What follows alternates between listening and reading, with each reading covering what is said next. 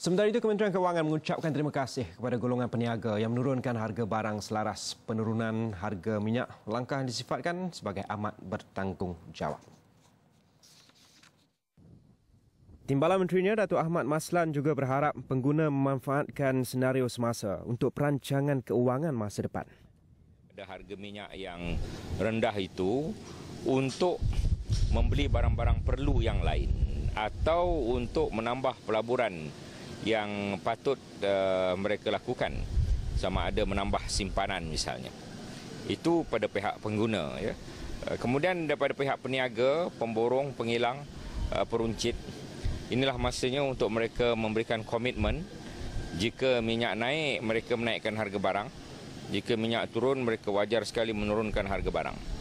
Uh, kita belum melihat lagi perkara ini dengan ketara walaupun ada setengah barang sudah mula menurun kita terima kasih kepada yang uh, uh, tidak terlalu apa ni mementingkan keuntungan berlebihan ini.